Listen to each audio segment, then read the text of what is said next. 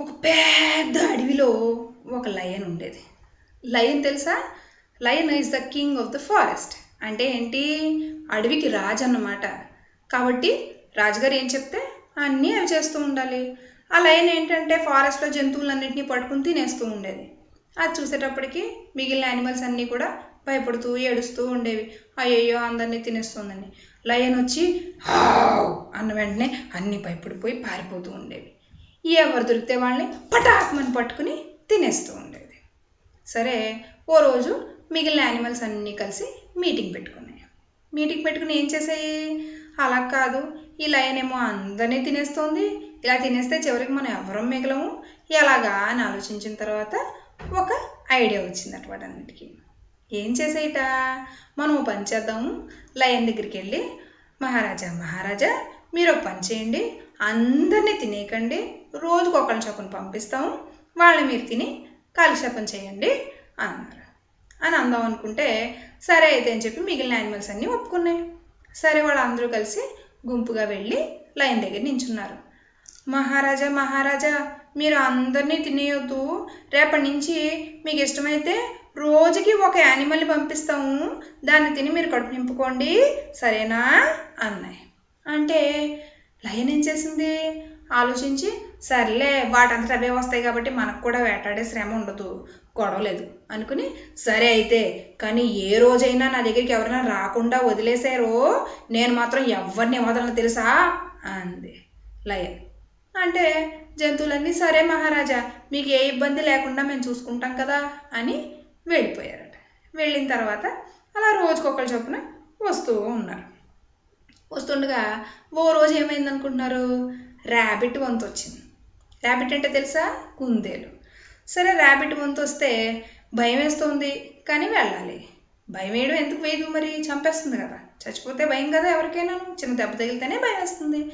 సరే చేసేదేం లేక మెల్లిమెల్లిగా మెల్లిమెల్లిగా ఆడుకుంటూ పాడుకుంటూ ఆడుకుంటూ పాడుకుంటూ నడుచుకుంటూ లైన్ దగ్గరికి వెళ్ళి. లైన్ దగ్గరికి వెళ్ళి ఏం చేసింది? లేట్గా వెళ్ళి నించుంది. లేట్గా వెళ్ళి మహారాజా మహారాజా నన్ను తినేయొద్దు ప్లీజ్ అంది.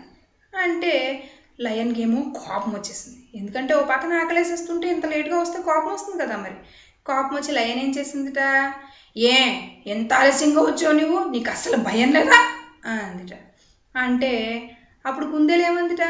అలా కాదు మహారాజా అక్కడ వేరే లయన్ ఒక లయన్ వచ్చి నన్నేమో భయపెట్టి ఆయ్ ఇలా వస్తావా? నేను నిన్ను చంపేమంటావా లేదా? అంది. నాకు భయం వేసి ఎలాగో ఒకలాగా తప్పించుకుని మీ దగ్గరికి వచ్చేటప్పటికి ఈ టైం అయింది అంది. అంటే అప్పుడు లయన్ ఏం చేసింది అనుకుంటున్నారు? ఎవరది?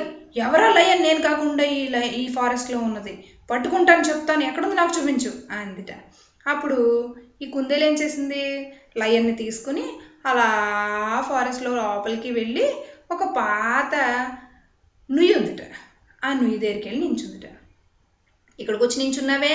అని ఇక్కడికి వచ్చి నించున్నావే అంటే చూడండి మహారాజా ఆ వేరే లయన్ ఇక్కడే ఉంది లోపల అందిట. అంటే ఎక్కడుందబ్బా అని ఇలా తొంగి చూసేటప్పటికి లోపల వేరే లయన్ మొహం కనిపిస్తుందిట. నుయ్యి అంటే నూతిలో నీళ్ళు ఉంటాయి నీళ్ళు ఈ నీళ్ళలోకి ఇలా మనం చూస్తే ఏమవుతుంది? మన మొహం మనకే కనిపిస్తుంది కదా. అలాగే లయన్కి కూడా ఆ మొహం అలాగే కనిపిస్తుంది. కానీ లయన్కి ఆ విషయం అర్థం అవ్వలేదు. లయన్ ఏం చేసింది? ఆ మొహన్ చూసి ఆయ్ ఎవర్రా అది? నన్నే బెదిరిస్తావా నువ్వు? ఇలా బయటకు వస్తావా లేదా? అందుట అదంతా మళ్ళీ అదే మాట వినిపిస్తూ ఉంటుంది కదా బయటకు వస్తావా లేదా? అని మళ్ళీ వినిపించింది.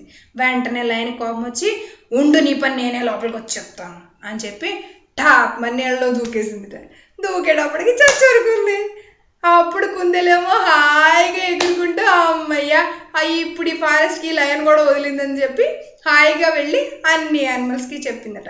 అన్ని యానిమల్స్ కూడా అమ్మయ్య థ్యాంక్ యూ కుందేలు నువ్వు మమ్మల్ని అందరినీ రక్షించావు అని చెప్పి అక్కడి నుంచి అందరూ హాయిగా ఉండడం మొదలు పెట్టారట